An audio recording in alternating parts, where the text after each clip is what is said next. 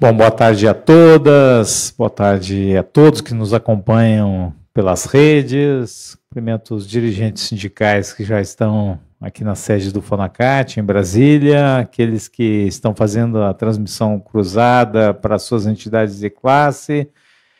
É, hoje é um dia muito importante para o funcionalismo público federal, porque marca um momento de estressamento da relação com o atual governo federal. Nós é, começamos a negociação para 2024 já há quatro meses, o governo sequer né, sinalizou a apresentação de uma proposta, e, e, hoje é um dia de chamamento, de alerta, de conclamação a todos é, os servidores ativos, aposentados, os seus pensionistas, em todos os cantos do país. Nós somos 1 milhão e 200 mil é, servidores ativos e aposentados é, e precisamos juntos dar um recado para o governo. Não vamos admitir mais protelação. É, vejam que nas últimas rodadas da mesa da negociação é, nacional, o governo ele não apresentou nenhuma proposta, nem mesmo para as pautas não salariais, e são inúmeras. Mesmo aquelas medidas é, antissindicais que foram aprovadas é, nos governos anteriores, a gente pode lembrar aqui da IN02, que inviabilizou o trabalho das entidades de classe, do funcionalismo, por passar a exigir compensação, até mesmo para participar de atividades colegiadas é, das entidades de classe, nem, nem a IN2 foi revogada ainda. Quer dizer, é, o que se pode esperar de um governo que se diz um governo dos trabalhadores, mas não toma medidas efetivas é, para a solução dos problemas é, do funcionalismo? Então, o dia de protesto é um dia que nós estamos aqui para dizer com todas as letras para o governo federal que não vamos admitir mais essa protelação. É um governo que se caracteriza por é, uma interlocução de assim de portas abertas. Nós não podemos nos queixar, me parece, é, que não tenhamos é, tido espaço de diálogo. Por outro lado, esse diálogo precisa ser minimamente efetivo. Né? Esse diálogo tem que ser efetivo porque, é, enfim, nós temos que prestar contas é, para esses 1 milhão e 200 mil é, servidores ativos, aposentados e pensionistas que representamos. E nós temos a reunião marcada na semana que vem, para o dia 18, é, mas já sabemos de antemão que não virá uma proposta. E é justamente por isso que nós estamos aqui, para fazer esse alerta, né? Que o momento é de mobilização. Né? Nós sabemos que estamos chegando no final do ano, não, é, vai ser impossível começar uma, uma, uma paralisação a essas alturas, mas nós temos que criar as condições para que isso aconteça nas primeiras semanas de 2024. Né? É, e lembramos aí que o governo, todas as vezes que ele é, subestimou o potencial do funcionalismo, ele se deu mal. Né? Ele se deu mal porque, é, lembro aqui de 2012, né, né Marco Aurélio? 2012, é, governo Dilma não queria negociar, é, hostilizou o funcionalismo e aqui de dentro desse fórum saiu a maior greve da história do Serviço Público Federal. Né? Isso, isso, foi um momento tenso aí, é, é, porque, enfim, o governo optou por subestimar os servidores e, e, a gente sabe que não são só os servidores, né?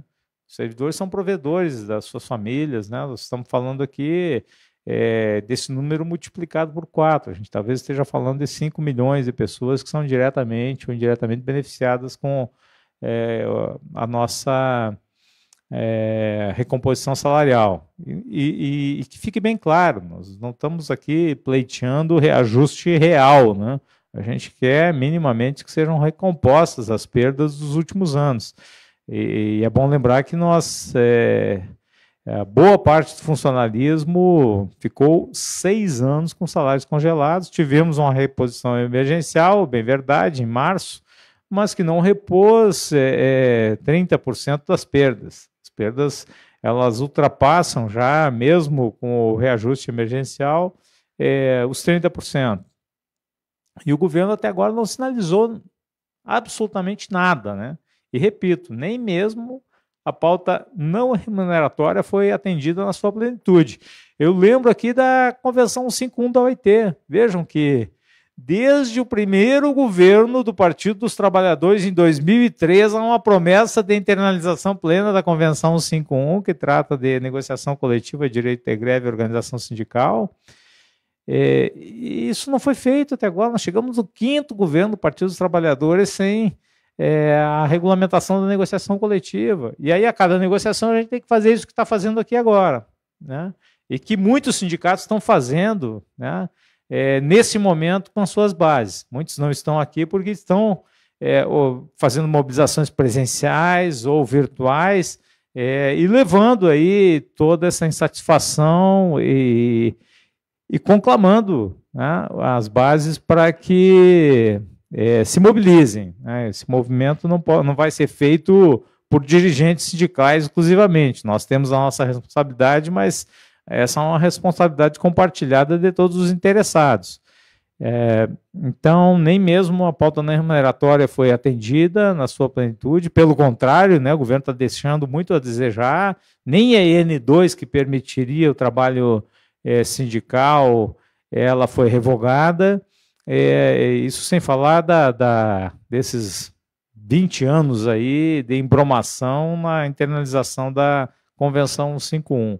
Agora, na pauta remuneratória, vejam que é, o governo, ele já na primeira reunião anunciou que tinha 1% e depois ele teve a disfarçatez de recuar do 1% e o secretário Feijó foi a público dizer que nem 1% tinha é, destinado para recomposição salarial nem a recomposição de benefícios está definida ainda. A gente sabe que hoje o Executivo Federal ele, é, ele pratica benefícios que, se a gente pensar no Vale Alimentação, é a metade daquele pago pelos demais poderes. Legislativo é, e Judiciário pagam mais do que o dobro do, da, do que a União está é, tá pagando, por exemplo, em termos de auxílio alimentação. Bom, não dá para corrigir tudo em 24, então que apresente uma proposta de recomposição escalonada e, e faculte aí uma recomposição em, é, plurianual. O que não pode acontecer é nós chegarmos na semana que vem e o governo não ter absolutamente nada para apresentar como está se desenhando. Né? É, então, eu acho que hoje é, é marcado aí pelo protesto, tanto né, esse que nós estamos realizando aqui agora, e, e cumprimento uma vez mais todos aqueles que nos acompanham pelas redes, é, e, e, repito, muitas entidades fazendo. Hoje pela manhã nós tivemos a nossa mobilização, servidores da CGU e do Tesouro Nacional, mais de é, é, 400 servidores nos acompanhando aí nesse protesto e que está se repetindo, né? E a gente sabe que isso é né, extremamente necessário para que nós cheguemos lá em, em, janeiro já com condições de botar o bloco na rua e dizer que não vamos aceitar mais protelação. Bom, meus amigos, eu, eu continuo daqui a pouco, eu vou é, circular né, a, a, fala entre as demais entidades que estão aqui presentes. Eu vou passar a palavra agora para a Elizabeth Mendes, que é presidente da, da ANESP, Associação Nacional dos especialistas em política pública e gestão regulamentar, vice-presidente do FONACAT. É, Beth, seja bem-vinda aí, a palavra está contigo. Boa tarde, companheiros e companheiras. Eu sou Elizabeth Hernandes e aqui na vice-presidência do FONACAT, representando os especialistas em políticas públicas e gestão governamental. Então, é, a ideia da chamada de hoje é, deixar claro que é dezembro, nós, servidores e servidoras, continuamos trabalhando firme, entregando bons serviços, cumprindo a nossa parte. Nós somos muitos, nós somos necessários e é necessário que estejamos firmes e unidos buscando também reconhecimento e respeito, porque o nosso trabalho como servidores é sermos guardiões da democracia. E é na entrega dessas políticas públicas que se, se realiza, que se pode perceber a nossa força, a força das nossas entregas. E por isso nós merecemos respeito e remuneração condizente. Então é muito importante que todos nós estejamos atentos e fortes, que estejamos acompanhando as negociações, que estejamos ligados na próxima mesa de negociação, porque a gente precisa ter respostas, ter propostas, ser tratado com respeito, com o mesmo respeito que nós dedicamos às políticas públicas que nós conduzimos. Somos nós que entregamos essas políticas para a população, somos nós quem temos resistido em nome da democracia, mesmo nos piores momentos, e por isso a gente entende que vai ser tratado com respeito e vai é, conseguir alguma proposta decente e digna que vise, no mínimo, é, minimizar mesmo as, as perdas, porque são muitas as perdas financeiras que nós temos. E aí, meus companheiros, é muito importante lembrar que sem mobilização não há nenhum tipo de reposição. Então, que todos nós estejamos acompanhando os movimentos, estejamos prontos para agir e exigir o respeito que é devido a nós. Muito obrigada. Passo agora para o Rudinei. Obrigado, Elizabeth Hernandes, né? presidente da, da, da Nesp, vice-presidente do Fonacat, que, que muito honra essa diretoria com sua presença, porque é uma servidora pública extremamente qualificada, dedicada e com uma militância social invejável e, e, e autora aí de recente obra lançada é, de contos e crônicas é, que engrandecem né, a, a cultura do sindicalismo no serviço público brasileiro e é um prazer tê-la conosco. Bom, é, Consuelo Paixão Cortes é, é, vai falar aqui pelo ANFA Sindical, lembrando que os fiscais federais agropecuários fazem uma mobilização nesse momento em todo o país, responsáveis que são pela fiscalização sanitária e, e várias é, outras atividades que garantem a segurança alimentar do país e tem sido também é, assim uma carreira super importante, super estratégica, né? Que a gente só basta pensar né, no volume de recursos né, movimentado pelo agronegócio no Brasil e, e tudo passa pelos fiscais agropecuários e vem sendo muito maltratados aí na, na negociação salarial com o governo. Então, Queria que você falasse um pouco sobre isso, Consuelo, como é que está a mobilização aí da categoria. Boa tarde a todos, boa tarde, Rodinei e demais dirigentes sindicais. Uh, nós estamos aqui hoje mobilizados, já conclamamos todas a nossa, toda a nossa base no Brasil todo, estamos paralisados, de braços cruzados, como uma forma de alerta ao governo. Né? Não aguentamos mais protelação. As negociações começaram de certa forma bem, foram formadas as mesas, no entanto, não houve uma evolução satisfatória. Logo desse governo que a gente pensou que ia ter, no mínimo, uma consideração e respeito pelo servidor público. Nós somos uma carreira estratégica, chancelamos todas as exportações do agronegócio, também internamente, né, fiscalizamos as plantas, os abatedouros, os portos, aeroportos, Estamos hoje com um número muito reduzido de, de pessoal, assim como tenho certeza aqui as, as demais carreiras. Né? Estamos nos desdobrando para poder atender, oferecer serviço de qualidade e, mesmo assim, não estão sendo devidamente reconhecidos e valorizados. Então, nesse dia, eh, eu gostaria de, de solicitar a todos os colegas que ficassem em prontidão, porque a partir de agora né, dependendo da resposta do governo, e esse é um alerta que nós estamos uh, emitindo. Nós só temos duas semanas até o fim do ano, propriamente. Né, e está essa questão da votação da LDO, né, Rudinei, que não se sabe se vai ser essa semana ou na próxima, ou se vão protelar, né, e que é isso que a gente não quer que aconteça, que não haja mais uma vez a protelação dessa resposta que nós, servidores públicos, merecemos. Nós temos que ser valorizados, a gente entrega um serviço de qualidade para o nosso Brasil e esperamos que haja uma resposta efetiva do governo. Estamos uh, com expectativas na questão do reajuste linear, demais benefícios e também na reestruturação da carreira de auditor fiscal federal agropecuário, há tanto tempo buscada. É isso aí. Conclamo a todos a permanecer ativos e em prontidão. Obrigada.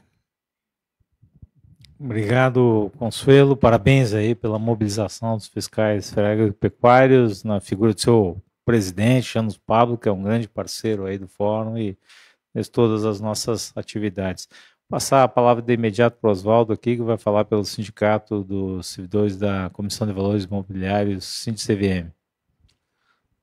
Presidente Rudinei, demais colegas, representantes sindicais, sou Oswaldo Molarino, eu represento aqui os analistas, inspetores, agentes executivos e auxiliares da Comissão de Valores Mobiliários.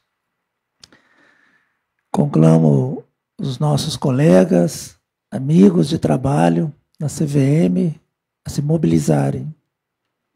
E a mobilização é um estado de consciência. Né? Hoje, das 14 às 16 horas, devemos todos nós desligar os computadores, conversar com os nossos colegas, para que todos percebam a necessidade de estarmos juntos nessa campanha nacional, né, em prol do reajuste 2024. Nós já temos a ciência de que o governo quer oferecer zero de reajuste. A ministra Esther já veio a público a anunciar a possibilidade de greve dos servidores federais. O governo já sente, já percebe que não tem condições de atender os servidores neste momento. A reunião do dia 18 será uma daquelas em que vamos ouvir o governo protelando mais uma vez o reajuste aos servidores. Servidores que não apenas atuam para oferecer o melhor serviço a este país, mas são os mesmos servidores que defenderam a democracia deste país. Foi a duras penas. E sentimos é, uma certa tristeza quando uh, percebemos que o governo nos enrola. É um verbo difícil, né?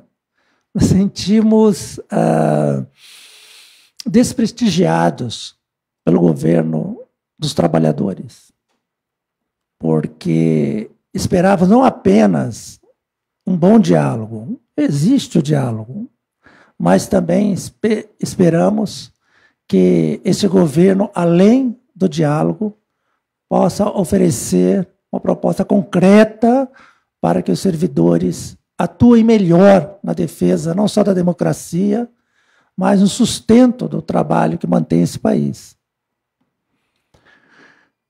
Na CVM, a título de exemplo, nós pedimos insistentemente ao governo que revogue o decreto 10620, que levou os nossos aposentados para o INSS.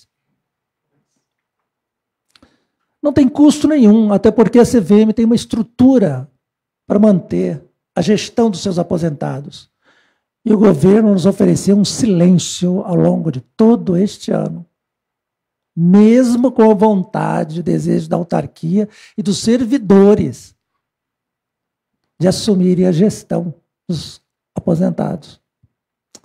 Fica difícil imaginar o que é possível esse governo fazer, mesmo quando não há ônus. Uma proposta tão simples. E esperamos que tenhamos o governo um diálogo mais efetivo mais objetivo e que possamos conversar sobre propostas, não apenas sobre esperança. Agradeço aos colegas e devolvo a palavra ao nosso presidente Rudinei. Obrigado, Oswaldo. É, passar a palavra aí para o Floriano, pelo Sindifisco Nacional. A gente sabe que o Sindifisco está bastante mobilizado em todo o país, é, buscando o cumprimento de um acordo que já se arrasta há anos e o governo ainda não é, cumpriu plenamente aí o que foi pactuado com é, o Sindicato é, dos Auditores da Receita Federal do Brasil. É, o governo é, manifestou né, alguma intenção de fazê-lo, depois recuou, depois avançou, depois recuou. Isso é algo extremamente desgastante. A gente está vendo aí como é, tem sido desconfortável né, para. Como o Oswaldo falou, para quem lutou em defesa da democracia nos últimos anos, né, é, contra a destruição do Estado brasileiro, enfim, tudo que nós fizemos aí nos últimos seis anos, e, e, agora, quando a gente esperava que ia avançar e, e resolver essas pendências que já é, de longa data aí é, precisam ser é, resolvidas, é, enfim, a gente tem que é, amargar novas protelações e remarcações de reuniões e mobilizações, é difícil até é, enfrentando aí a ofensiva jurídica do governo que não aceita uh, uh, paralisações, né? Então, Floriano, em primeiro lugar, queria externar aí toda a solidariedade do Fonacat, essa mobilização importante que vocês vêm fazendo. É, isso se estende também agora realmente ao, ao, ao SINAIT, né? Também que tem um acordo aí que está sendo é, é, é, protelado, é o mesmo acordo né, que está sendo protelado também há muito tempo pelo governo. Contem com toda a nossa solidariedade e a palavra aí, Floriano, está contigo. Alô. O Rudinei, muito obrigado. Fonacate, as palavras eh, de estímulo, de apoio à mobilização, a maior mobilização, agora a maior greve que os auditores fiscais estão fazendo nos últimos anos é, dizer que essa greve ela, ela já foi anunciada duas vezes, nós suspendemos a primeira vez por conta de um prazo pedido pelo ministro da Fazenda. O ministro da Fazenda pediu de 60 a 90 dias, nós marcamos 60. Falou, daqui a 60 dias, se não houver o cumprimento é, da palavra, é, nós entraremos em greve está, ficamos com a greve convocada. Infelizmente, é, um pouquinho antes, o ministro nos chamou para conversar e pediu mais prazo. E aí, nessa história de mais prazo, mais prazo, realmente a coisa está ficando insuportável. A greve começou no dia 20. É, nós tivemos uma reação é, que era esperada, né? assim, o, o judiciário, né? o, o, executivo foi ao judiciário para tentar barrar a nossa greve. Ah, nós tivemos uma primeira decisão e, e nós tive, temos um entendimento sobre a decisão e isso está agora de novo sendo avaliado pela, é, pelo STJ, pela ministra que está cuidando dessa causa. É uma, é, nós estamos é, pondo muita força política, porque entendemos que nós temos aí também um paradigma. Né? Nós somos a primeira entidade de servidores públicos a oficialmente entrar não só em paralisação, não só em movimento de mobilização, mas numa greve. É, os colegas têm tido ponto cortado. O Sindifisco é um dos poucos, das poucas entidades que consegue sustentar, mas isso não é indefinido. Nós conseguimos, é, temos um fundo de corte de ponto já de muitos anos, que está sendo usado porque o corte está sendo feito. Então, é uma situação realmente é, desconfortável é, por, por essas voltas do destino o acordo foi de 2016, governo Dilma, foi descumprido nos governos subsequentes, e nós estamos agora no governo presidente Lula III. E reconhecemos o avanço na, no que diz respeito à regulamentação, coisa que os companheiros do SINAIT ainda não tiveram. É, reconhecemos que o ministro da Fazenda é, pela primeira vez, encaminhou o plano de aplicação, que é de onde vem os recursos para o pagamento. É, isso ainda no condicional, em se atingindo metas que já se demonstram praticamente inatingíveis. Com tudo isso posto, o, o governo, via os, sua, os seus órgãos, no caso, talvez a SOF ou a junta orçamentária, encaminhou ao, é, a peça orçamentária o mesmo valor que vinha sendo pago é, a título de antecipação. Quer dizer, me parece que já até um, um, uma situação, né, uma, uma vantagem que se paga praticamente sete anos como antecipação pelo valor fixo, e parece que ela deixou de efetivamente é, servir àquilo que é o espírito da lei. Pois bem, é, o governo encaminhou o mesmo valor e encaminhou no anexo 5 um valor que poderia chegar, então, a mais três, a uma fortuna de 3 mil reais.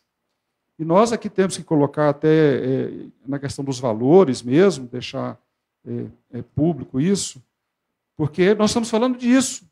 Os valores não são valores, porque a sociedade acha que é, a gente tem que o servidor público é, é somos todos né, altamente salários nababescos, eu não sei de onde se tira, mas no Executivo Federal a realidade não é essa. A imensa maioria, e na sequência eu vou falar pelo Fonacef também, viu, Dinei? Os colegas pediram para que eu desse um recado também pelo Fonacef. É, essa situação, ela chegou a esse ponto do absurdo do secretário, nosso chefe, nosso autoridade maior, secretário da Receita Federal, nos chamar para uma reunião onde iria anunciar, então, um, um acordo de a gente sabia que talvez que o governo talvez fosse fazer isso de maneira uma proposta do cumprimento da lei de maneira parcelada, mas jamais imaginar que é, a proposta do secretário seria inferior à que o governo encaminhou. Então, disse eu claramente, tive essa oportunidade e ainda fiz uma ressalva, é, já por conta da minha idade, falou, me dou ao, respeito e ao direito de falar pela minha idade, eu sou sexagenário, tenho 63 anos e pré-aposentado, coisa que saiu na quinta-feira. Eu sou agora aposentado. É, e eu fui fazer conta, sabe, que essa é a imensa assim, a realidade brasileira é, de nós, servidores públicos, que ascendemos né, de, de lares né, construídos ou, ou lares difíceis, situações difíceis. Eu fui me relembrar que, na realidade, eu trabalhava há 50 anos. Eu trabalhei desde os 13 anos de idade. E acho que aqui os mais antigos vão ter né, um, um, depoimento semelhante a esse. Né? Então, o que nós queremos né, e lutamos né, é, para que esse governo é, fosse eleito, com certeza, a imensa maioria de nós é, trabalhou para isso, votou, pediu voto, é, utilizou seu, suas redes, seus contatos. Vimos com muita alegria o surgimento da mesa, mas, infelizmente, é, as nossas pautas, que não são só as remuneratórias, nós estamos aqui hoje é, tratando da questão remuneratória, é, porque nós temos uma situação que está aí. Né? A LDO pode ser votada hoje na Comissão Mista de Orçamento, o pessoal está indo para lá. Muitos dos companheiros que vinham para cá foram lá acompanhar na CMO. E eu, desculpe se eu estou falando um pouquinho mais do que o normal, mas é o seguinte: é, não foi por falta de aviso. Governo, não foi por falta de aviso. É, o governo de transição começou lá para logo depois das eleições, né? Nós tivemos pelo menos 60 dias. Todos nós estivemos lá conversando com o governo nas diversas é, eixos né, de atuação, de uma transição, e deixamos bem claro: olha, com relação a nós, e aí entrando no tema geral, é, a remuneração, as perdas salariais dos nossos vencimentos básicos, dos nossos é, da, da, nossa do, da maneira como recebemos, né? Alguns são vencimentos, outros são subsídios. O, o, as perdas para a inflação são assustadoras. Né? A gente e a gente sabe que dificilmente nós vamos recuperá-las. Isso é um rebaixamento que foi construído ao longo dos anos. E, e eu tive uh, acompanhando, naquele final de 2022, todo o processo que nós todos aqui trabalhamos, do discussão do orçamento vigente desse ano. E o que, que nós ouvimos quando começaram a tramitar, já com os recursos previstos na, na lei orçamentária, as leis que reajustaram os demais poderes. As leis que reajustaram para servidores, para membros do Ministério Público, do Judiciário e do Legislativo. Várias leis tra tramitaram. E eu me lembro de uma que eu acompanhei é, no plenário do Senado, que foi a do Legislativo.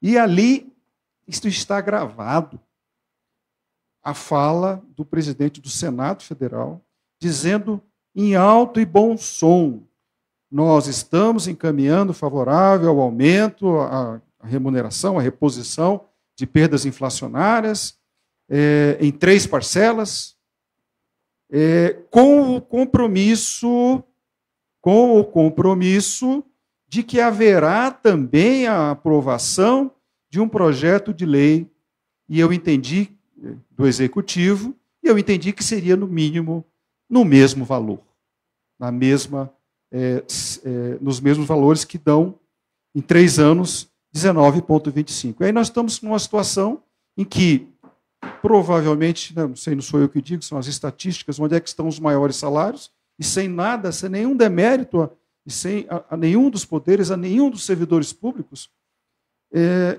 terão em fevereiro um reajuste de 6%, né? como tiveram em fevereiro do ano passado, e nós tivemos 9%. E pelo jeito não teremos notícia. Então a gente já começa com a nossa base nos cobrando, cadê meus 10%? Isso já é, já é uma conta desse governo. E era uma conta que o governo foi avisado.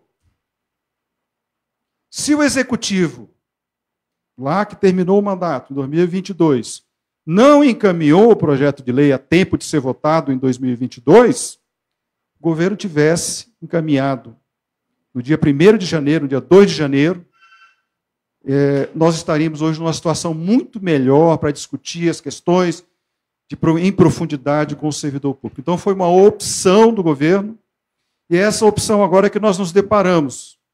E essa mobilização que, nós, que vem sendo feita nas duas, principalmente tocada pelo Fonacat e tocada pelo Fonacef, nesses, essa junção que é muito bem-vinda, ela, é, ela tem que ser é, pedagógica. Não dá, não dá mais.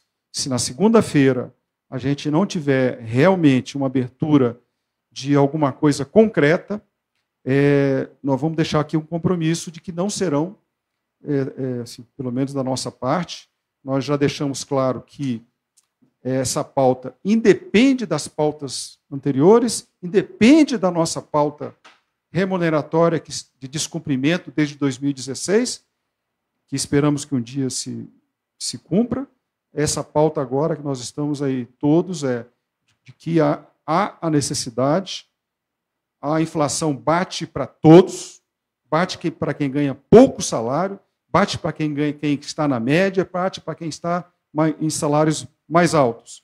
Então, é necessário, sim, que o governo é, é, faça o seu esforço da mesma forma que, que tem feito para a aprovação de leis que sustentem a política econômica do governo, mas há necessidade e uma política econômica do governo é, sustentável, ela se faz principalmente com servidores públicos é, que estejam minimamente é, é, nas suas condições mínimas de sobrevivência. Então, é isso que a gente gostaria de falar hoje, em nome do Sindifício Nacional. O presidente Isaac me passou aqui a, o que dizer, e também falando em nome do FONACEF, reforçando a necessidade de que haja o reajuste geral para todos os servidores públicos do Executivo. Obrigado, Floriano. É, sindicato muito atuante, aí, muito importante aí no serviço público brasileiro, em greve em função da intransigência do governo, porque, enfim, um acordo que se arrasta aí há sete anos sem regulamentação não tem outra palavra senão descaso. Descaso. Dizer, o governo promete, sinaliza, recua, e isso gera um desgaste que chega um momento que você não tem mais o que dizer para a base, senão, olha, vamos parar porque não estamos sendo respeitados. Né?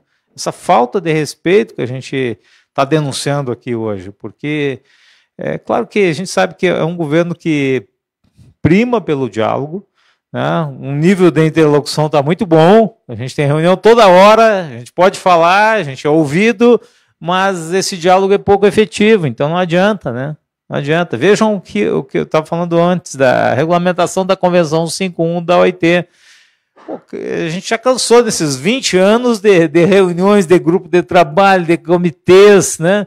todos é, indicando aí a internalização plena da, da Convenção 51 e até agora nós estamos no quinto governo do Partido dos Trabalhadores e a convenção não foi totalmente implementada, tanto é que nós estamos aqui agora, porque se já tivesse é, com regras para negociação coletiva no serviço público, com prazos definidos para apresentação de propostas, para devolutivas, né, para arbitragem, se fosse o caso, nós não estaríamos aqui no final do ano tendo que denunciar né, o descaso do governo com a política salarial, que não existe.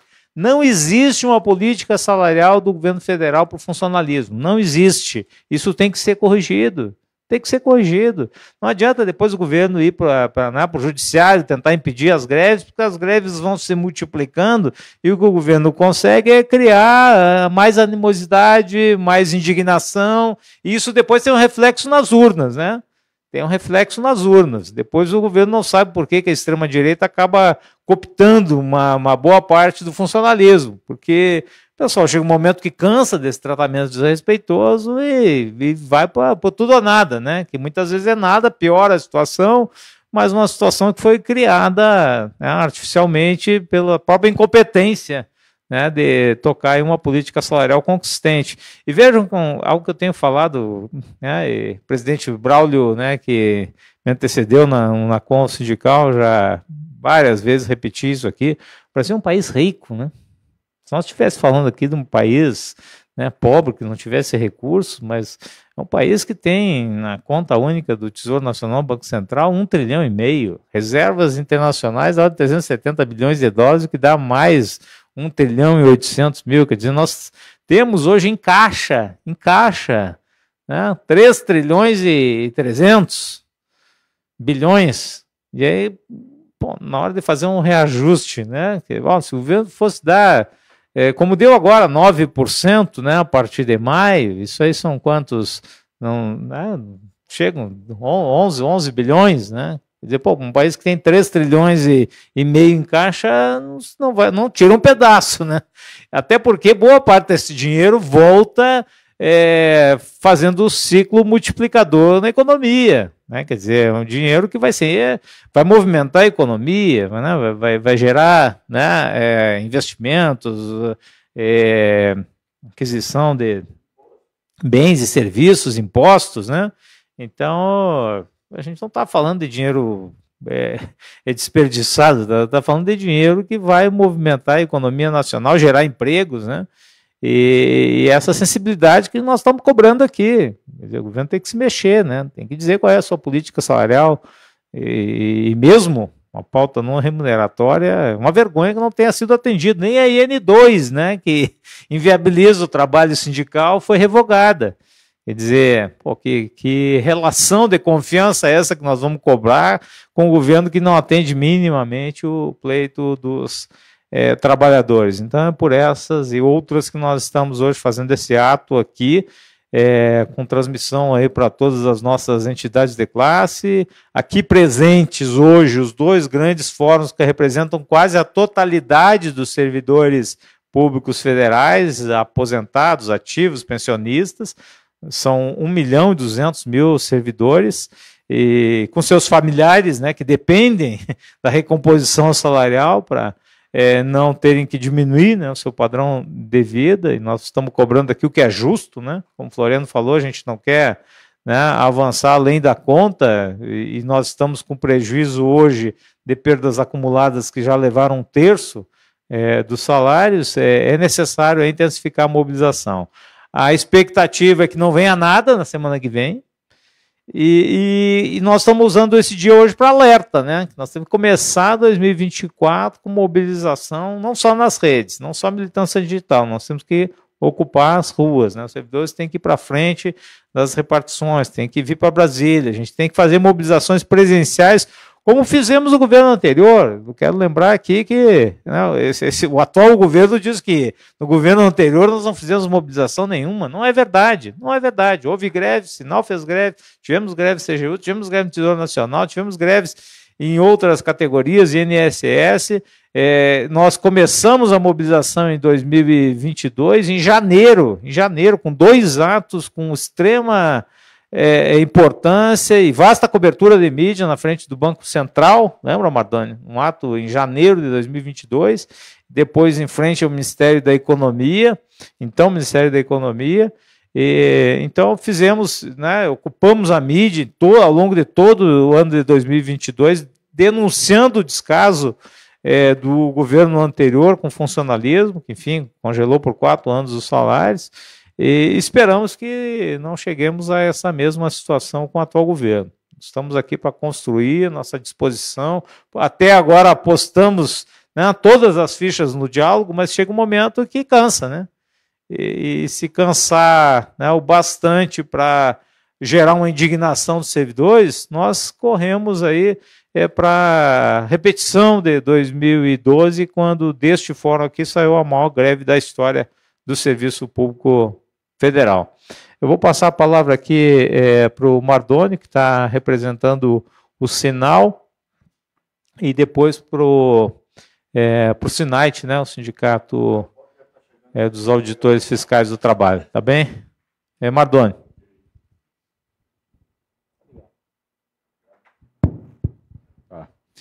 É, estou substituindo aí o presidente do Sinal, Fábio Fayad, eu sou Mardônio, Sarmento, vice-presidente do Sinal. É, a fala do Floriano é muito completa, muito apropriada, do Rodinei também, mas eu gostaria apenas de enfatizar alguns aspectos. Há seis anos nós estamos financiando governos com a redução da nossa renda. Nossa renda é de salário, é alimentícia. Nós vivemos disso não se trata de ganhos reais. Há seis anos nós temos assistido e experimentado o deperecimento da nossa qualidade de vida. Isso é inadmissível. Vem de, desde o governo Temer, passou pelo governo Bolsonaro, entra o governo do PT e a gente tem uma esperança renovada de que isso seja descontinuado. Argumenta-se que não há orçamento, não há verba no orçamento. Quem argumenta é exatamente quem tinha que pôr essa verba. A questão não é de ausência de verba, é de ausência de prioridade. E prioridade não para ganhos, insisto. Prioridade para reposição do valor real, para recuperação da dignidade do, do servidor público. Muita conversa, nenhum resultado. A nossa categoria de servidores públicos, dividida em diversas entidades e, e órgãos, se caracteriza por uma particularidade. Nosso patrão é o povo, nosso cliente também é o povo. Nós sofremos o paradoxo da importância. Se não podemos parar porque afetamos o cliente, o povo, então somos mais mal pagos do que se pudéssemos fazer greve. Existe uma, uma autorização para greve constitucional, mas ela não é regulamentada. Né? Então, força o tribunal a acolher, né, receber legislação do meio civil, que não é aplicável 100% ao, ao setor público. Então, a regulamentação do 151 é para ontem, é indispensável. Nossas peculiaridades precisam ser contempladas numa regulamentação justa, humana e decente. Basicamente é isso. Eu sempre insisto quando falo aqui, já devo ter falado sobre isso. O servidor público tem se construído num cidadão de segunda classe, desprovido de cidadania. Nós não temos coisa julgada, direito adquirido. o tripé da cidadania do Estado Democrático de Direito não nos assiste. É preciso que a gente se rebele contra isso. No Banco Central, nós estamos fazendo uma paralisação de 24 horas, começando no dia 13, às 14h30 e indo até o dia 14, também às 14h30. É um ato que estamos fazendo e que vamos procurar a máxima cobertura de mídia para alertar para o caos em que se encontra o serviço público. No caso do Banco Central, entregas como o PIX, a continuidade, a evolução do PIX, o DREX, tudo isso está impactado negativamente. A agenda de aprimoramento dessas ferramentas, desses produtos para a sociedade, está obstaculizada pela desmotivação absoluta com que milita o servidor do Banco Central. Basicamente isso. Obrigado pela palavra, Odinei. Obrigado, Mardônio. Conte também com toda a nossa solidariedade para a mobilização que vem sendo empreendida aí, capitaneada pelo Sinal, é, no Banco Central, nos últimos meses, de operação padrão, de paralisações pontuais, a greve que foi feita em 2022, né, meses de greve, né, que é a prova cabal de que houve greve sim no governo anterior, né, ainda que esse governo atual se negue a admitir, nós temos lá o, as, os, as, os contra-cheques com é, os contra-cheques com desconto integral da remuneração ao longo de três meses, né? É, então conte aí com toda a nossa solidariedade e, é, sucesso aí na, na mobilização. Eu recebi aqui informações de que várias categorias estão fazendo as suas mobilizações neste momento, por isso que algumas não estão aqui. É, os oficiais da da inteligência representados aqui nesse fórum pela, pela Intelis, os analistas de comércio exterior representados aqui pela ACE, os colegas da, da SUSEP, é, representados pelo Cinti SUSEP. Hoje pela manhã tivemos assembleia com vasta participação aí no âmbito do NACON sindical, é, que representa servidores do Tesouro Nacional, da Controladoria Geral da União. Enfim, várias carreiras começando, mobilizações, sinalizando para o governo que o diálogo né, não, não vai bem, não vai bem.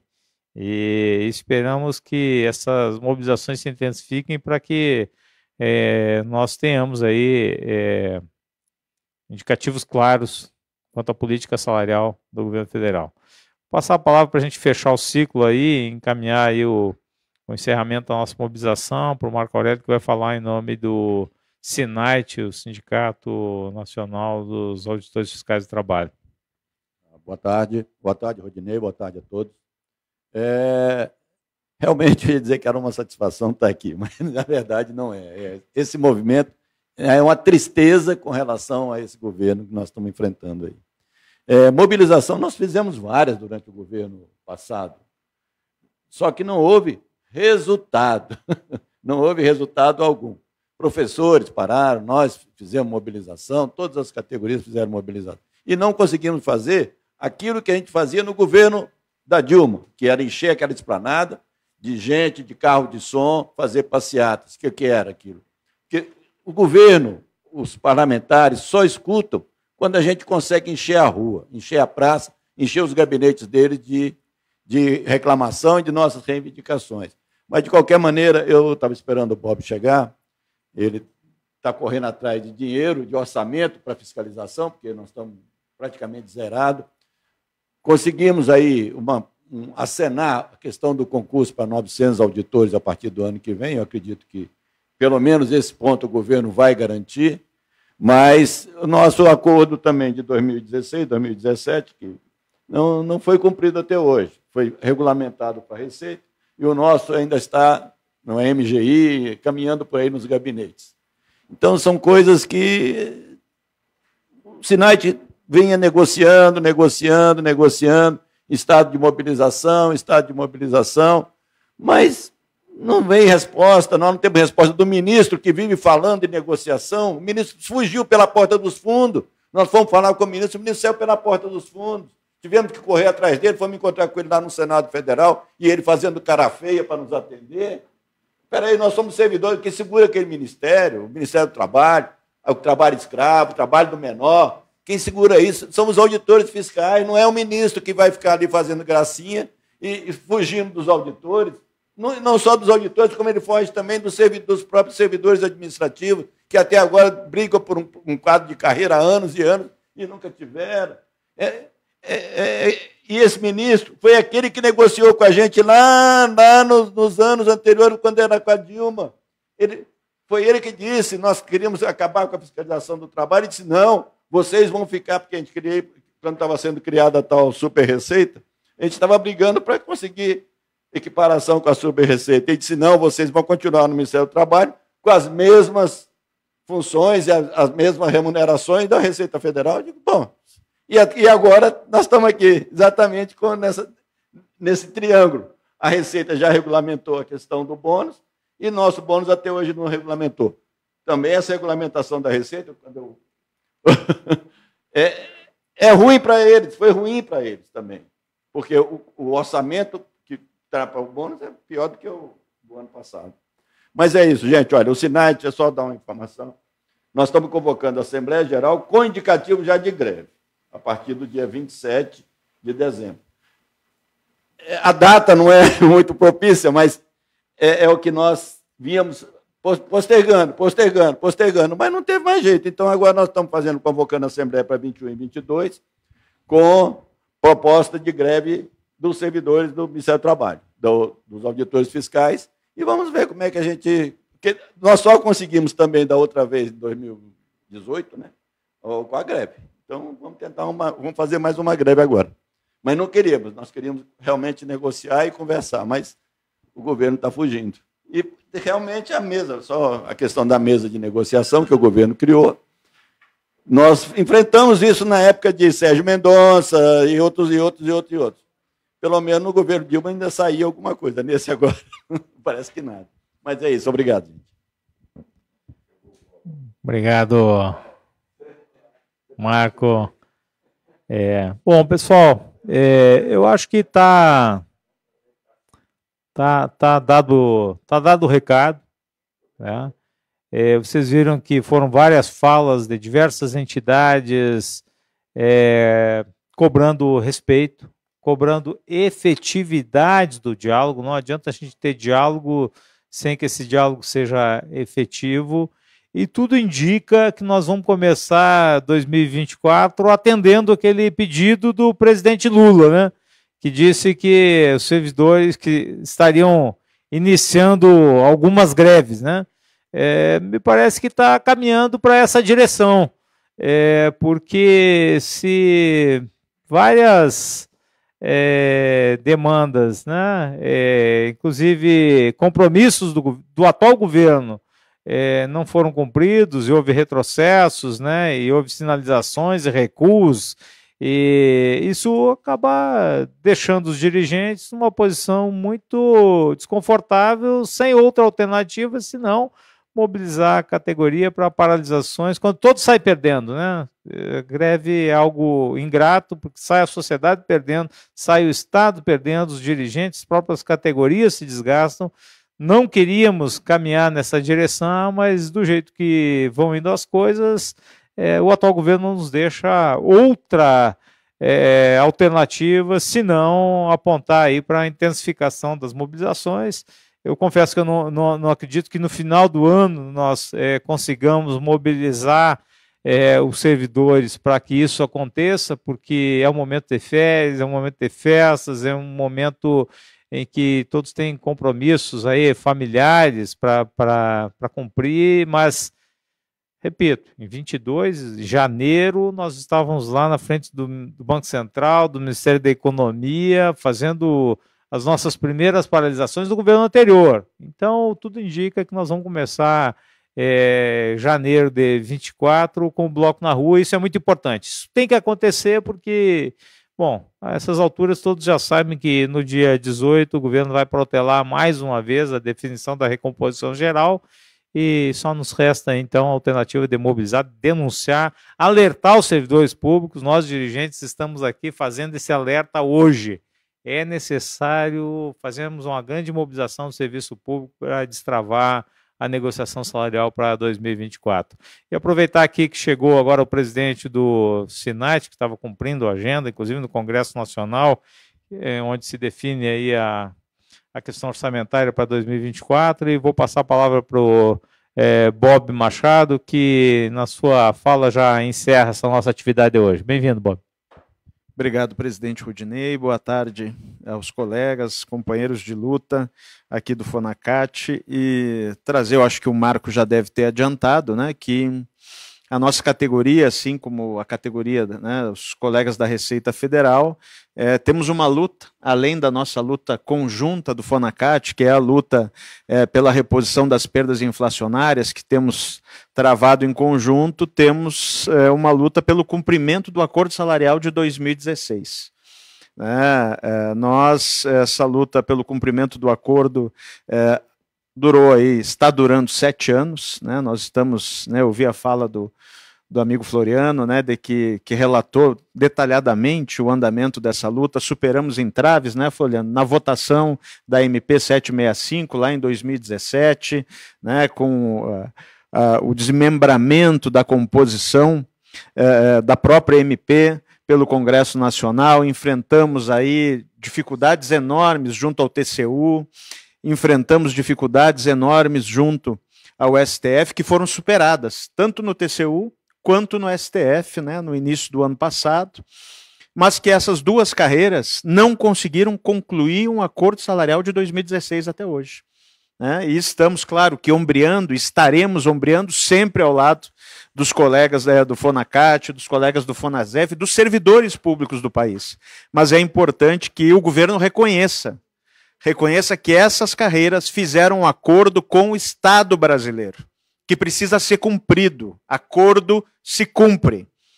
E, nesse sentido, nós, embora entendamos, né, assim como os colegas da Receita, que o momento é um momento difícil de final de ano, de mobilização, mas é, o nível de insatisfação, né, o nível de indignação da inspeção do trabalho no, pra, no Brasil não nos deixou outra alternativa se não convocar uma GN, uma Assembleia, para a próxima semana, para aprovar pela categoria ou não, mas imaginamos que o nível de indignação nos levará a isso, a aprovar o estado de greve na inspeção do trabalho no Brasil. Esperamos que o governo entenda o recado da inspeção do trabalho, entenda o recado dos coordenadores do Brasil todo, para que ele efetivamente cumpra essa etapa do acordo de 2016 para que nós possamos, junto com os demais servidores do país, ombrear forças nisso que o Rudinei falou, que é o mais importante nesse momento.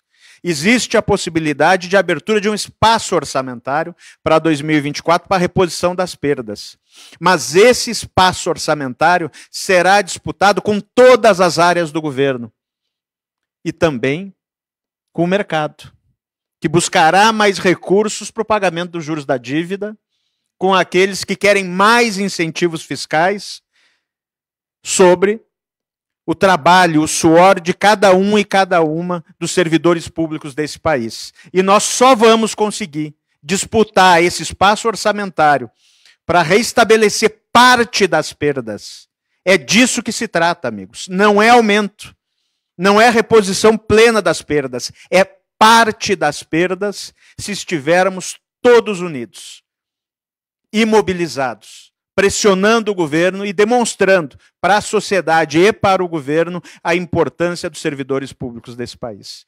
Então, meu presidente, eu não quero tomar mais o, o tempo, mas é, é preciso que esse tom de indignação seja o tom, neste final de ano, de cada servidor público federal desse país que está sendo neste momento, é bom que se diga, neste momento não está encontrando a sensibilidade necessária do governo federal para repor as perdas, para reestruturar as carreiras que estão aí, muitas delas desestruturadas, pelas políticas implementadas por governos dos últimos anos. É preciso que se entenda isso. Se qualquer um ou qualquer uma quiser qualquer avanço, não será fácil. Não será de graça. Será preciso muita luta. Muito obrigado, presidente. Obrigado, Bob. E com isso nós encaminhamos aí o encerramento da nossa mobilização. É, chegaram algumas questões aí no, no chat, os é, internautas que nos acompanham aí pelas redes. É, a principal delas diz respeito aí à pauta dos benefícios, né? Perguntam se é, nós levamos a pauta de recomposição dos benefícios, como auxílio alimentação, per capita saúde. Tudo isso foi apresentado já na primeira reunião, há seis meses atrás. O problema é que há seis meses que a gente está na mesa de negociação e não temos proposta nenhuma, nem para a pauta não remuneratória, nem para benefícios, nem para recomposição geral, e é por isso que nós estamos aqui, em protesto. E vamos iniciar 2024, como o presidente Lula pediu, uma mobilização que vai se intensificar ao longo do ano, até que tenhamos uma proposta concreta respeitosa e que recomponha minimamente as perdas acumuladas nos últimos seis anos do funcionalismo federal. Muito obrigado pela presença de todos. Acompanhem Fonacat, Fonacef, as nossas entidades nas redes. Eh, estejam atentos aí para os desdobramentos da reunião do dia 18, eh, a partir das 14 horas. E vamos em frente juntos eh, vencer mais essa batalha. Obrigado e até a próxima.